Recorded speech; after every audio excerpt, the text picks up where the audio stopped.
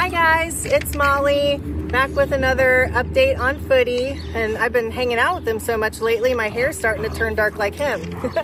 um, so this week we are checking in with him. Uh, he is four and a half months old and he weighs 49 and a half pounds, if you can believe it.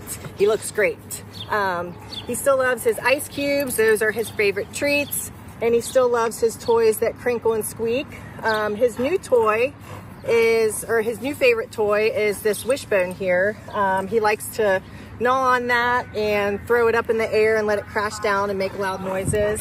And a congratulations is in order because he has graduated his puppy obedience class. And we'll attach a photo of that with his graduation ribbon so you guys can see that as well. And we'll attach some pictures of his teeth so you guys can take a look at that.